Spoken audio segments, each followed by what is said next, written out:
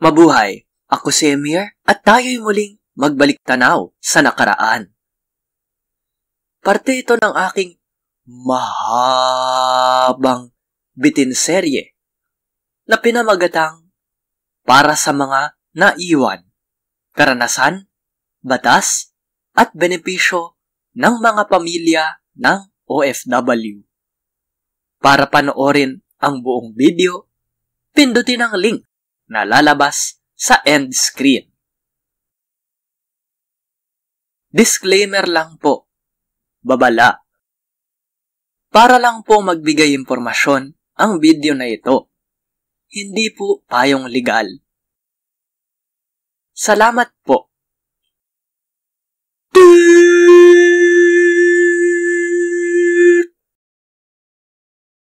Suporta, sustento, maintenance. Lahat ng kinakailangan, indispensable. Sustenance, pagkain, tirahan, damit, pangkalusugan, pag-aaral, transportasyon. Alinsunod sa kakayahang pinansyal ng pamilya.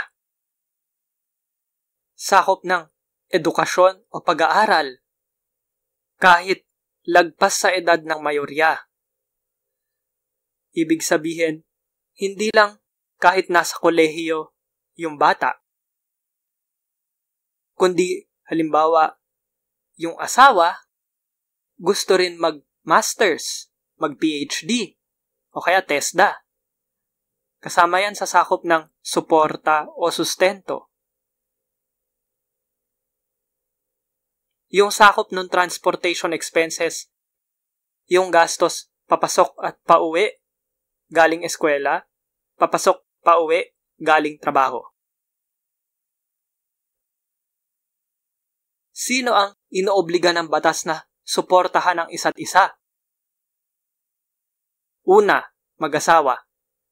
Pangalawa, yung marital ascendants and descendants. Ibig sabihin, kasal si lolo't lola, kasal si mama at papa.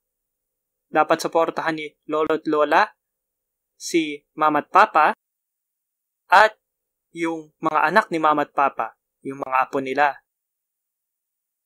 Yung mga apo, obligado silang suportahan yung kanilang mama at papa lolo't lola. Pero muli, marital.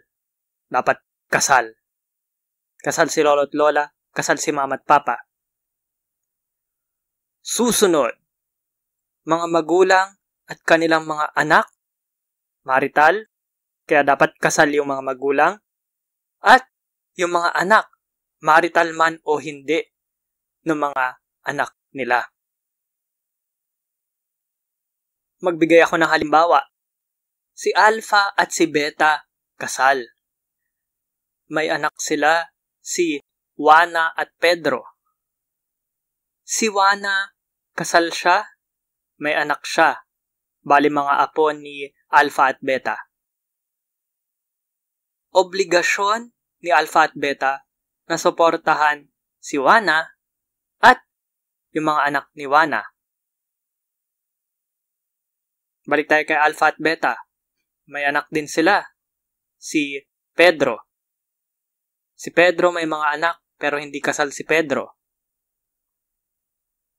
Obligasyon ni Alpha at Beta na suportahan si Pedro at yung mga anak ni Pedro. Basta kasal si Alpha at Beta, yun yung sitwasyon ng 3. 4. Ang sitwasyon, non-marital children. Hindi kasal si alpha at beta, pero ganun pa rin ang sitwasyon. Dapat suportahan pa rin nila ang isa't isa mula lolo, lola, mama, papa, apo. At marital na magkakapatid. Hindi lang yung dahil pareho yung ama't ina nila, nakasal yung ama't ina nila. Pero kaya nandyan yung half-blood. Halimbawa, kinasal ulit yung isang magulang nila. May bisa yung kasal. Nagkaroon sila ng mga kapatid sa kasal na yon. Dapat suportahan pa rin nila. At kahit hindi maritally related, non-marital, dapat suportahan pa rin ng magkakapatid ang isa't isa. Pero ito may exception, maliban. Maliban kung nangailangan ng sustento yung kapatid na nasa hustong gulang, kasalanan niya o kapabayaan niya yung dahilan kung bakit kailangan niya ng sustento. Exception yon. Yung exception na yon, wala yon dun sa 1 to 4 sa taas. Kung halimbawa, dalawa o higit pang tao ang may obligasyong magsustento, merong order na susundin. Sino ang magsusustento? Ang may tungkulin, asawa. Pangalawa, descendants na pinakamalapit. Yung descendant na pinakamalapit, yung anak.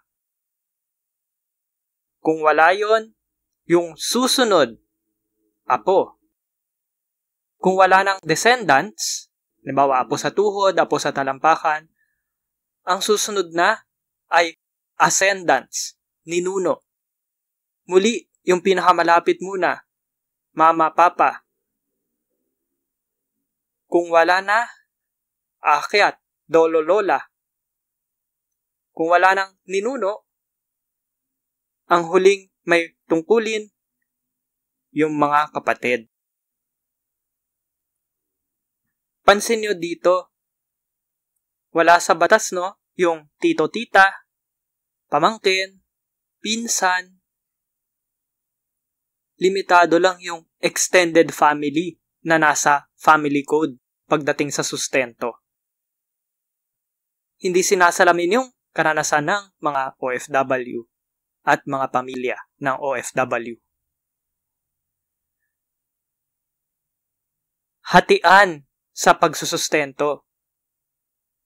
Hindi pantay-pantay na hatian, kundi alinsunod sa kakayahan ng bawat isang may tungkuli na magsustento. Kaya halimbawa, yung hinihinging sustento 1 million, hindi ibig sabihin tig 500,000. At hindi rin ibig sabihin nun na yung iuutos ng korte na sustento 1 million din bababaan din yun. Mamaya, babanggitin ko ulit yan. Kung kailangan, kailangan na. Urgent. Now na. At mga espesyal na sirkumstansya. Maaaring ipag-utos ng korte na isang tao lang yung magbigay ng sustento sa ngayon. Pero, may karapatan siyang maghabol sa iba pang mga may obligasyon na magbigay ng sustento. Kung halimbawa, dalawa o higit pang tao yung nagdedemanda na sustentuhan sila, dapat sundin din yung pagkakasunod na pinakita ko dun sa slide kanina. Pero, kung yung sabay na nagdedemanda ay asawa at anak na meron siyang parental authority, ibig sabihin yung anak ang dapat unahin. Pero kung yung anak wala na siyang parental authority, walang bisa itong batas na ito. Muli, ang sustento dapat alinsunod sa kakayahan nung nagbibigay ng sustento at sa pangangailangan nung humihingi nito pwedeng bawasan o taasan yung halaga ng sustento ayon sa pangangailangan at sa kaya nung nagbibigay. Kaya yung 1 million kanina, kahit isang milyon ang dinedemanda, hindi automatic sa korte na isang milyon yung ipag-uutos niya. Maaaring idemanda ang suporta, ang sustento, tuwing kinakailangan ito need for maintenance. Halimbawa, kumakain tayo araw-araw, kailan pwedeng idemanda yung pangsustento sa kinakain natin? Araw-araw pwede nating idemanda yon. Pero, kailangan ng demanda para utusan yung may karapatan magsustento na bayaran yung sustento. Pwedeng judicial, magsasampa ng kaso sa korte, o extrajudicial, demand letter. Kailan dapat bayaran ang sustento? Sa loob ng unang limang araw ng buwan. Pag namatay yung may karapatang tumanggap na sustento, kung ano man yung in-advance sa kanya, hindi obligado ang kanyang mga tagapagmana na ibalik yon. Mandatory remittance. Dapat ipadala ng mga OFW ang bahagi ng kanilang kita sa kanilang mga pamilya, dependent, at o benepisyaryo na nandito sa Pilipinas alinsunod sa mga patakaran na inilabas ng Secretary of Labor. Ngayon, DMW na yan. Pero, nakadepende pa rin yung espesipiko, yung specifics, doon sa nakalagay sa kontrata ng OFW at ng kanyang employer o amo. May sinusunod na template yan, yung POEA Standard Employment Contract